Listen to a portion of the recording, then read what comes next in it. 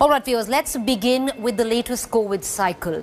Now, while most countries, some are going through the third wave, the others are waiting a third wave. India, with looking at a possible third wave which is about to peak.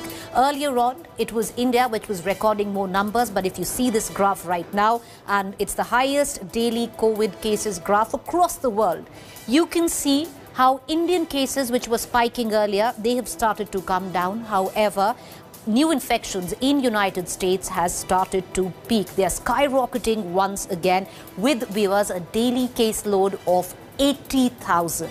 This is what the graph looks like. A month back, India was recording a high. Now India is climbing down while the United States of America is peaking with an 80,000 caseload per day.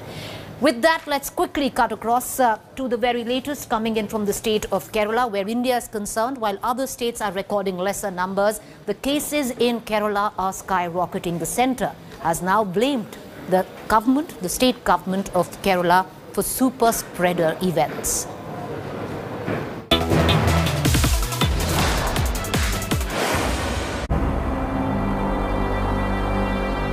State once touted for controlling COVID effectively, keeping deaths at a low and sending healthy people back home is now in the news for all the wrong reasons. Kerala now accounts for 50% of COVID-19 cases in India. अगर आप देखें कि देश में आज भी चाहे cases concentrated manner में पाए जा रहे हैं लेकिन अभी भी देश में 22 ऐसे ज़िले हैं जहाँ पर कि पिछले चार हफ्तों में हमने एक increasing trend in cases note किया है हमने आपको दर्शाया है स्टेट वाइज ऐसे कौन से ज़िले हैं जहाँ पर कि वीक ऑन वीक बेसिस पर अगर हम देखें तो पिछले चार हफ्तों में केसेस में संख्या में वृद्धि हुई है यह वृद्धि एक, मान लीजिए कि लिमिटेड नंबर ऑफ़ केसेस से थोड़ी भी वृद्धि है तो यह कॉज ऑफ़ कंसर्न है जिसके लिए हम स्टेट से डिस्कस करते रहते हैं A drastic increase of cases has been seen in the last four weeks. Documents accessed by India Today show Kottayam has seen almost 64% increase in cases in a month. Malappuram has seen a 59% jump in cases. Thrissur recorded a 45.4% rise during the same period, and Ernakulam has seen a 46.5 increase. India Today has accessed this letter that has been written by Union Health Secretary Rajesh Bhushan to the Kerala government, talking about the fact that the central team that visited Kerala in the first week of July has made some observations about what really is going wrong in the state. Containment has to be improved in the state of Kerala. This letter also talks about the fact that certain super spreader events have been witnessed in the state of Kerala, which has clearly led to the spike. In his letter, the Union Health Secretary says Kerala needs to do more in terms of containment.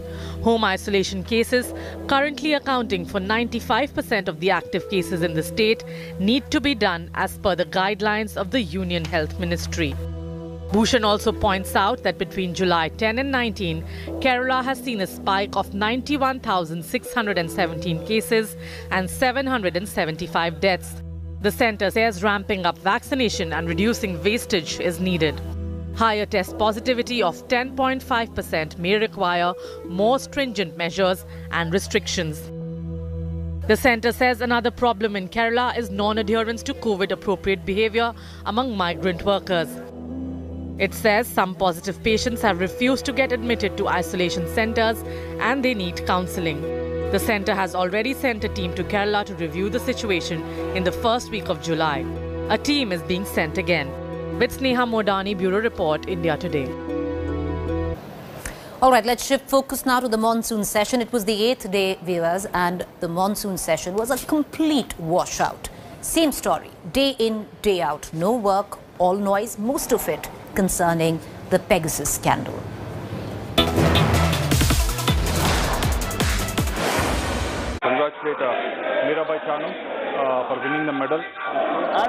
Successfully going. E Adalat. So, uh, we are very. Pandemonium, ruckus, and deadlock. Day 8 of the Parliament storm. No debate, only disruption. The Pegasus Snoopgate face-off threatening to consume this entire monsoon session of Parliament.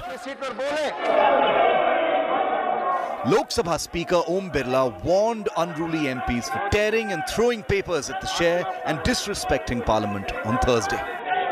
आसन पर पर्चे फेंकना आसन की अवमानना करना हमारी संसदीय परंपराओं के अनुरूप नहीं है क्या आप कल की घटना इस संसदीय गरिमा के अनुरूप मानते हैं क्या इसे न्यायोचित मानते हैं हम सबको सामूहिक रूप से निर्णय करना होगा कि हम कैसे इस सदन की गरिमा और सम्मान को और बढ़ा सकते हैं The government tried to broker peace. Union Minister Piyush Goyal met opposition floor leaders in Mallikarjun Kharge's room over coffee. However, there was no assurance from the aggressive opposition, which has been seeking a probe and debate on the Snoopgate scandal. It merely asserted that it was the responsibility of the government to run parliament. Why are you avoiding Pegasus? It is collectively for all parliamentarians an insult. It is collectively an insult for all parliamentarians, for the institution of parliament.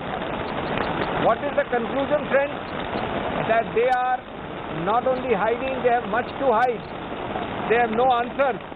And I think there was a very strong conversion The opposition also disrupted the speech of External Affairs Minister S. Jaishankar in the Rajya Sabha. to our relations with the United States When it comes to Quad, when it comes to Indo-Pacific, these are all our national choices which serve our national interests. Government, while maintaining that it is ready for any discussion, called the snooping charges baseless again. Unnecessarily a non issue issue बना के इतने सारे दुनिया के पच- हजारों हजारों लोगों का अभी ऐसा स्पाइंग हो सकता है क्या there should be And what Rahul Gandhi talks, he doesn't understand. That is his basic problem. The parliament hangama has ensured that there is no debate over the COVID fight or economic situation. It has also ensured passage of key bills without any debate. With Poulomi Saha in Delhi, Bureau Report, India Today. Shifting focus to Goa, huge shocker coming in from the sitting Chief Minister, Mr. Pramod Sawant, where he retorted at the back of a huge crime that had taken place gang rape of two young girls of 14 years old on Benaulim Beach in Goa. He says that teenagers should not be allowed on the state's beaches at night and that the parents should make sure that young teenagers do not go out on their own at night. All of this coming on the back of 25th July, where four men, including a driver with an agriculture department, posed as policemen and allegedly raped two girls after beating up the boys who were accompanying them.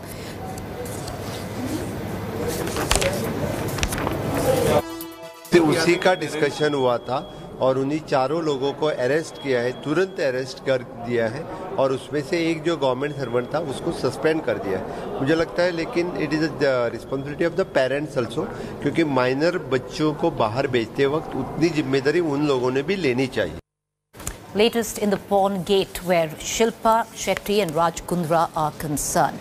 Well, the latest is that uh, the Securities and Exchange Board of India has slapped a penalty of 3 lakh rupees on the couple and their firm Viaan Industries over insider trading violations. The Se- SEBI has conducted investigations into trading transactions that took place between September 1st, 2013 and December 23rd, 2015. The investigation has pointed to alleged preferential allotment of 5 lakh shares, out of which 1.28 lakh shares were allotted to Shilpa and Raj Kundra each. The probe alleges non-disclosure of transactions worth 10 lakhs.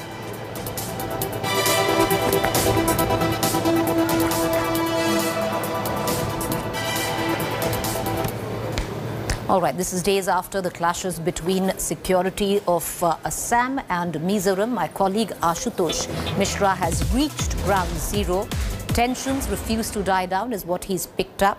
Now, India Today travelled to Silchar where several policemen are undergoing treatment after allegedly sustaining bullet injuries during the clashes. The Assam policemen have alleged that some locals from Mizoram not only pelted stones but also miscreants fired at them with light machine guns from high altitude.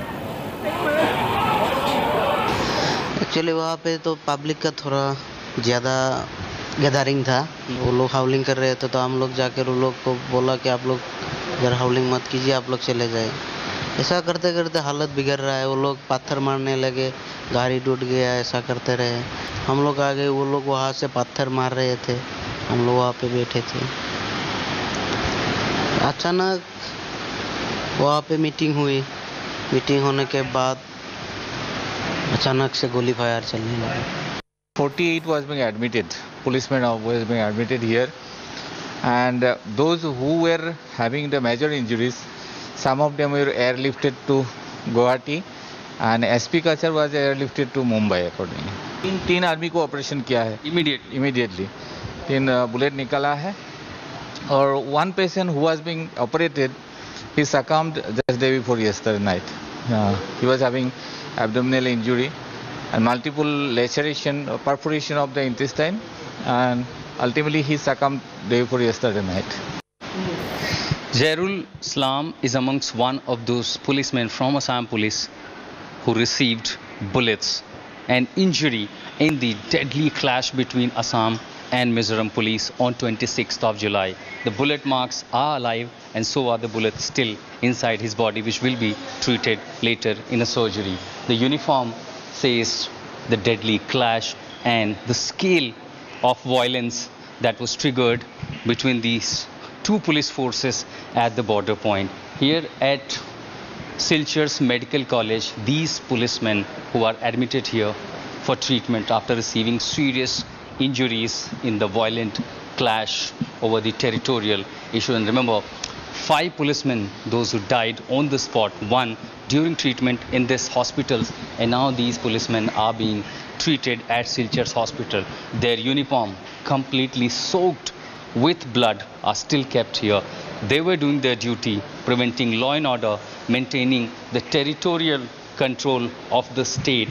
But several reasons and several claims, but what led to the clash between two forces and that resulting death of five policemen from Assam police on the spot. One later during the treatment. Here, these policemen are being treated. Assam Chief Minister Himanta Biswa Sarma has assured investigation and punishment to the guilty. In the meanwhile, to resolve the deadlock and the crisis between two states, the center has also stepped stepped in. They've called up the top officials from the both side, the both state, both the government. But the situation at the flashpoint remains tense while these policemen, the brave policemen who battled the bullet on that clash day, are being given treatment. In Silchar with Sanjay Kumar, I'm Ashutosh Mishra for India Today. Because monsoon mayhem continues to spin together a deadly narrative of deluge, especially in the hills of north of India.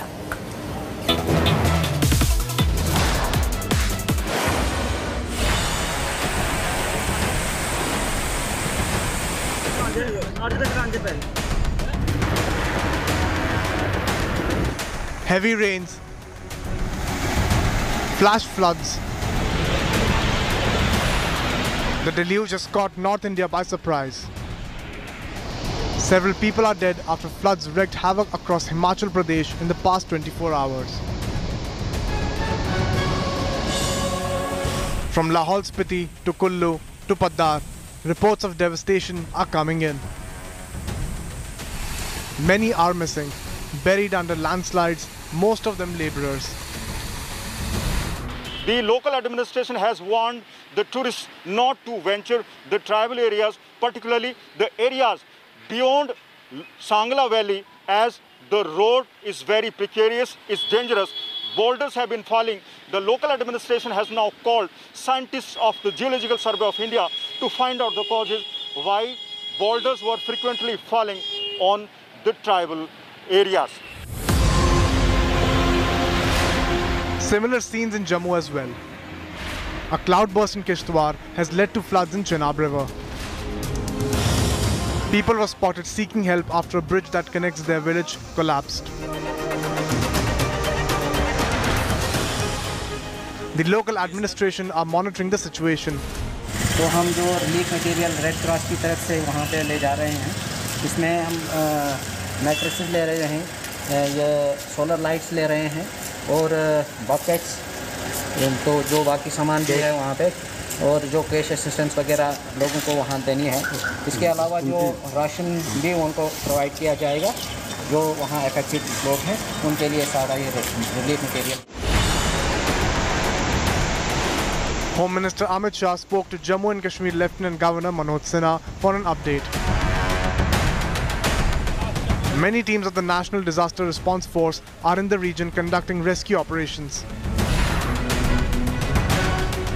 वहाँ की local SDRF Jammu में इंतज़ार कर रही है और जम्मू में हमारी एनडीआरएफ टीम पहुँच गई है। और उसको अभी हम लोगों को लेके जाना है by chopper to the site लेकिन बीच में स्टेट गवर्नमेंट का, की कार्रवाई चालू है और मुझे लगता है कि कुछ लोगों का, को बचाया भी जा चुका है और कुछ लोगों को, कुछ बॉडीज निकाली जा चुकी है। The worst may still not be over for Himachal Pradesh and Jammu. The Met Department has predicted widespread rainfall till Friday. Bureau Report, India Today. Welcome back. You're watching a fact check segment where we bust certain claims masquerading to be facts on social media platforms and WhatsApp groups. There's an image which you might have got on various WhatsApp groups suggesting that Muslims are offering azan in the Ganga. The fact check on that is false. It's fabricated. This image is morphed. This video is from Bangladesh, nothing to do with India. With that fact check, time for us to go into a quick break, but to stay with me on the other side. It's to the point.